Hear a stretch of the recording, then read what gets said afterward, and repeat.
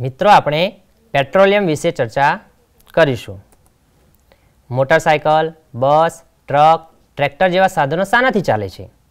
હમ, તમને ખબર છે ને કે મોટરસાયકલ, બસ, ટ્રક, ટ્રેક્ટર જેવા સાધનો પેટ્રોલ અને ડીઝલથી ચાલે છે. તો આ પેટ્રોલ અને ડીઝલ ક્યાંથી આવ્યું? તો આ પેટ્રોલ અને ડીઝલને પેટ્રોલિયમ જેવા કુદરતી સંસાધનમાંથી મેળવવામાં આવે છે. હવે આપણે પેટ્રોલિયમ કઈ રીતે બને છે તેના વિશે વાત કરીશું. તો કે પેટ્રોલિયમ એ સમુદ્રમાં રહેલા સજીવો દ્વારા પેટ્રોલિયમ બનતું હતું અને આ જીવો મૃત્યુ પામતા.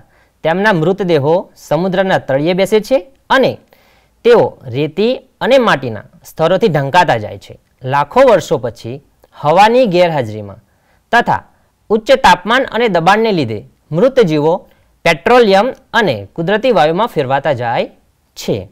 હવે મિત્રો, તમને એક આકૃતિ આપી છે, જુઓ. એની અંદર જે વાયુ છે, તેલ છે અને પાણી છે. તો પાણીનું સ્તર સૌથી નીચે છે.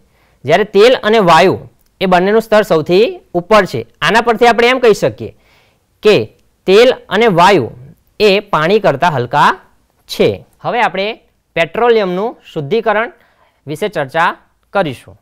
પેટ્રોલિયમ એ ઘણા બધા ઘટકો, જેવા કે પેટ્રોલિયમ વાયુ, પેટ્રોલ, ડીઝલ ઊંજણ તેલ તથા મીણ વગેરેના મિશ્રણને અલગ કરવાની પ્રક્રિયાને પેટ્રોલિયમનું શુદ્ધિકરણ કહે છે અને તે પેટ્રોલિયમ રિફાઇનરીમાં કરવામાં આવે છે. તો હવે આપણે પેટ્રોલિયમ રિફાઇનરી વિશે ચર્ચા કરીશું.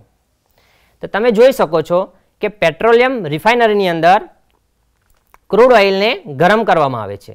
ત્યારબાદ તેમાંથી gas, petrol, naphtha, kerosene, diesel અને બિટુમિન જેવા તત્વો મેળવવામાં આવે છે.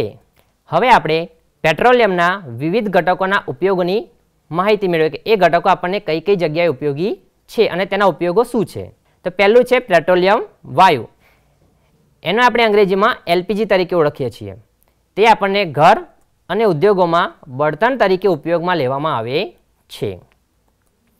ત્યારબાદ છે પેટ્રોલ. તેના વિશે તમે જાણો જ છો કે પેટ્રોલ છે મોટરનું બળતણ, હવાઈ જહાજનું બળતણ, પછી ડ્રાય ક્લિનિંગ વગેરેના દ્રાવકમાં ઉપયોગી છે. ત્યારબાદ આવે છે કેરોસીન. તો કે કેરોસીન એ સ્ટવ, દીવા અને જેટ પ્લેનનું બળતણ છે અને તેની અંદર ઉપયોગમાં લેવામાં આવે છે. પછી આવે છે ડીઝલ. તો ડીઝલ આપણે ભારે વાહનો અને ઇલેક્ટ્રિક જનરેટર માટેના બળતણ તરીકે વાપરવામાં આવે છે.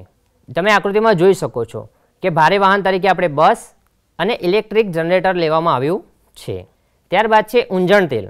તો કે ઊંજણ તેલ એ ઊંજવા માટે એટલે કે આપણે ગાડીની અંદર જે ગ્રીસ કે ઓઇલ નાખીએ છીએ, એનું એક રીતે કામ કરે છે. ત્યારબાદ છે પેરાફિન મીણ. તો કે પેરાફિન મીણ એ મલમ, મીણ બનાવવા માટે ઉપયોગીમાં લેવામાં આવે છે.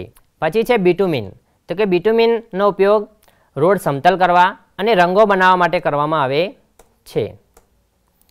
ત્યારબાદ આપણે કુદરતી વાયુ વિશે ચર્ચા કરીશું. કે કુદરતી વાયુ કઈ રીતે બનાવવામાં આવે છે અથવા કઈ રીતે મેળવવામાં આવે છે.